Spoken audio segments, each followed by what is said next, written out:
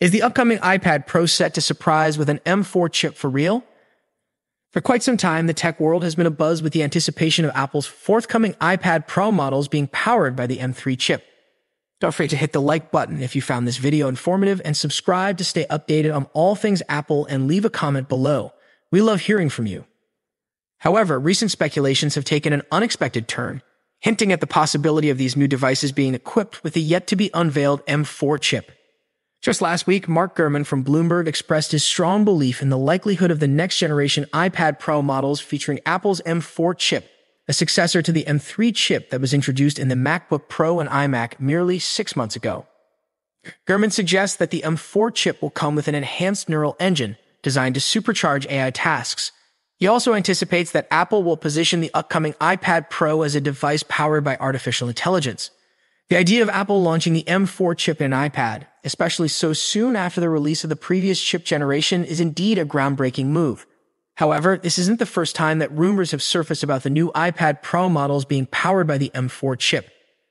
Back in March, a reliable source revealed the chip details of 16 upcoming Apple devices.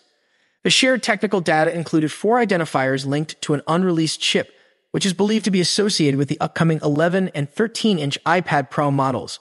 This information led to the speculation that the iPad Pro might house the M4 chip instead of the M3. With Gurman now backing this theory and the potential focus on AI, the odds seem to be increasingly in favor of this outcome. Should Apple decide to incorporate the M4 chip in the new iPad Pro, it would indicate that Apple's silicon roadmap is advancing at a faster pace than anticipated. It's plausible that the production volume of TSMC's N3E remains limited, making it a more fitting choice for a device like the iPad rather than the iPhone or Mac at this stage. Apple is slated to unveil the new iPad Pro models at its Let Loose event on May 7. What are your thoughts?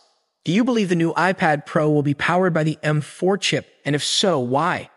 We're eager to hear your opinions, so please share them in the comments below. Stay tuned for more updates and don't forget to subscribe to our channel for the latest tech news. Remember, your opinion matters to us, so don't hesitate to share your thoughts. Until next time, peace out.